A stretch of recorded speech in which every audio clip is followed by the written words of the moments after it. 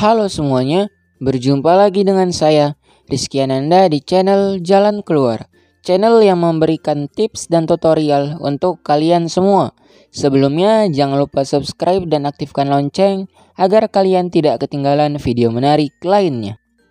Jadi, di video kali ini saya mau bagikan tutorial cara periksa kebocoran data pribadi.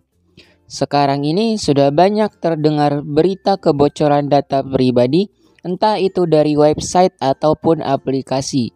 Data yang bocor itu biasanya nama lengkap, alamat email, alamat rumah, tanggal lahir, dan lain sebagainya. Oke, langsung saja kita ke tutorialnya.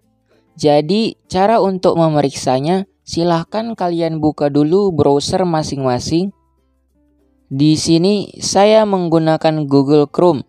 Kemudian di bagian pencarian kalian ketik periksa data lalu enter atau periksadata.com jika ingin langsung. Ini adalah tampilan utama dari website tersebut. Data yang mau diperiksa itu dilihat melalui email. Jadi isikan saja email kalian di bagian ini.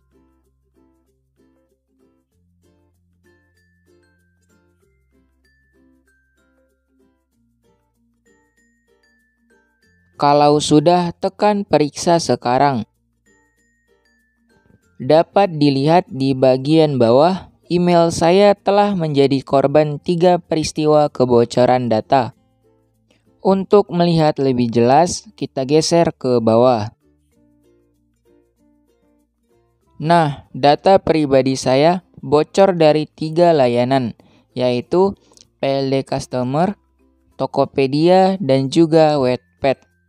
Untuk jenis data yang bocor, bisa kalian lihat masing-masing.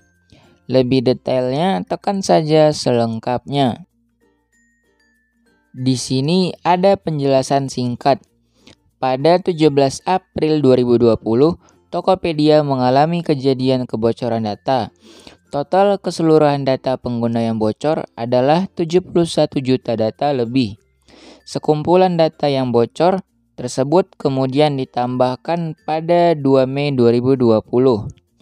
Data yang bocor ada tanggal lahir, email, jenis kelamin, nama lengkap, dan password juga. Kalau update terakhir 17 Juli 2020, berarti sudah lama sekali ya update terakhirnya. Jadi, kalau data kalian bocor, kalian bisa lakukan hal ini seperti mengganti password yang kalian gunakan dan aktifkan verifikasi dua langkah agar akun kalian jadi lebih aman. Baik, itu saja video singkat dari saya. Terima kasih sudah menonton dan sampai jumpa kembali.